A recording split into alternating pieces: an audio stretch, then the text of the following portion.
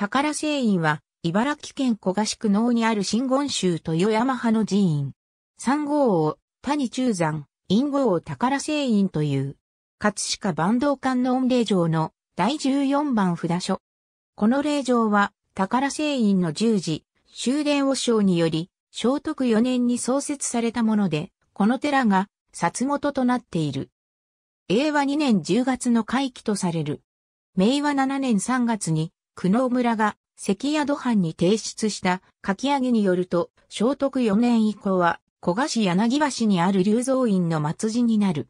聖徳4年は、十字、終電が、葛飾坂東観音霊場を創設した年で、この寺も、第14番札所、札元となる。嘉永6年10月2日、当時の十字、県名が死去した後は、無住となった。明治3年に新政府が行った寺石調査でも無住とされ、行道という名の留守居同心者がいた。また、本尊は大日仏、境内地が2000坪、檀家が51件だった。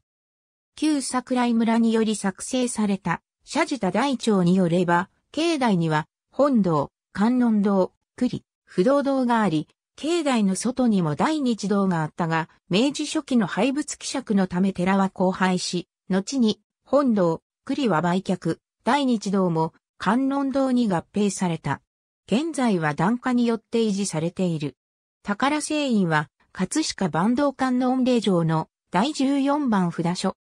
御栄華は、玄東の久野府を祀る、関世音大時代碑の近い、頼もし葛飾坂東観音霊場では、各寺院に御栄華があり、参拝時に御栄華を唱えることは、教文読書と同じ功読があるとされる。ありがとうございます。